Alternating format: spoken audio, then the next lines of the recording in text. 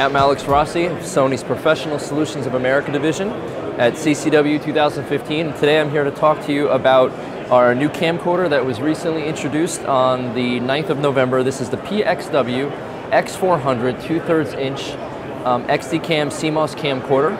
And uh, we're bringing a couple new things to the market with this camcorder. Uh, this camcorder, we've really designed this to be the ENG field shooter's dream camcorder.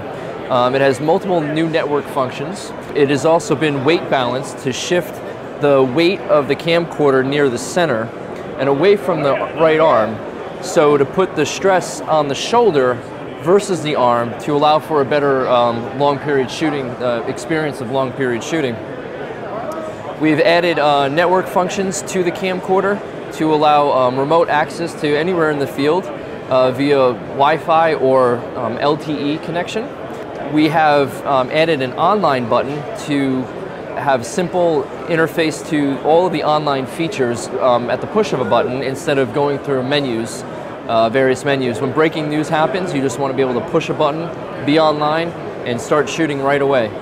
Um, also new to the X400 is the compatibility with our new line of full HD OLED viewfinders that were just announced at IBC. These will be shipping in December and they give a whole new dimension to what you're able to actually view and see while you're shooting. Um, of course, it wouldn't be a Sony camcorder if we didn't have all the best audio components ready to go, wireless audio in our DWX shotgun mic series. Another new feature is we now have a near field communication so that you can establish your settings on the camcorder simply by touching your smartphone. If it has near field communication, settings are automatically adjusted. So as you can see, by near field communication, online button, you're on air almost instantly. Sony has uh, built in the wireless module on the X400, so there's no, no longer a need to use an external adapter. Um, this camcorder is uh, full HD, 1080 up to 60p. Um, it comes with all the extras that you would expect from a Sony camcorder. GPS module, it has a two, three, and four times digital extender built in. It has a 50 pin interface built in for studio configurations. Um, it adopts a lot of the high-end um, features down to the mid-tier level, um, including pool feed, which was um, uh, much asked for feature um, on a lower level camcorder. Um, this is the PWS 100 RX1 network receiver that was introduced at NAB 2015 this year. The PWS 100 RX1 allows for um, up to 30 streams from uh, field cameras back to the station.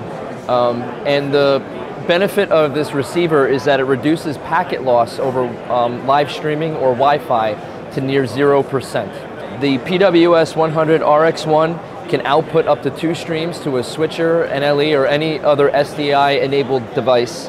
Um, the, it could also be um, stacked so you can have multiple um, servers back at your station and therefore it exponentially increases the number of cameras that you could bring in from the field. Uh, the PWS 100 RX1 is available now um, along with the PXW X400, which will be available in February of 2016. Uh, for more information on the PWS 100 RX1 or the PXW X400, please visit sony.com backslash professional.